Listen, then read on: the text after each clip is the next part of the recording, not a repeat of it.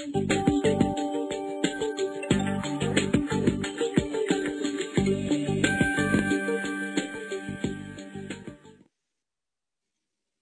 patient recruitment program earns money for a medical device company through buying back time, very simply. An accelerated enrollment program saves time, and that time is very easily translated into dollars in two different ways. One way is that a shorter time to fund a trial means more money that is saved on the actual fixed expense portion of a clinical trial because there are fixed expenses associated with running a trial whether patients are being recruited or not. Of course, the variable expenses associated with each enrollment are going to be there independent of the time it takes to enroll the study.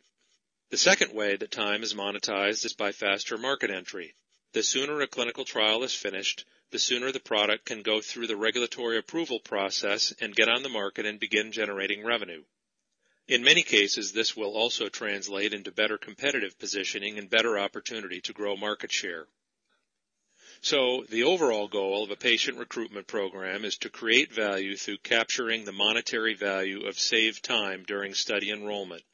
And every dollar that is invested by a medical device company in a patient recruitment program that has been well designed and effectively executed should pay back anywhere from 5 to more than $30, more than a 30 to 1 return on investment.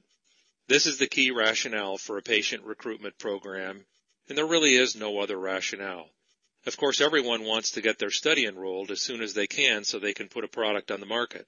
Clinical people want to get studies completed, but the underlying rationale for doing this is generating a return on investment and creating value, which is really no different than any other business objective within a medical device company.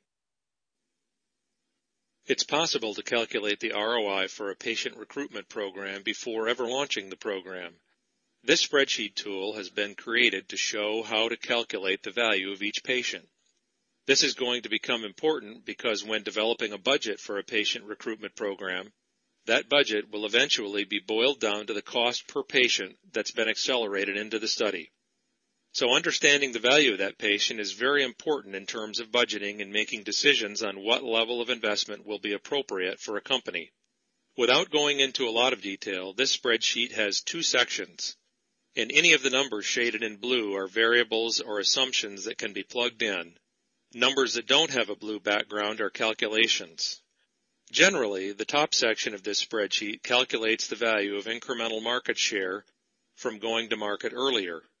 The bottom section that is titled expenses is where we capture the value of cost savings associated with shorter time to fund a study. Ultimately, we're going to capture the total economic value We'll net it out to a present value and divide by the number of patients recruited with the accelerated enrollment program, and that will yield the net present value of each recruited patient.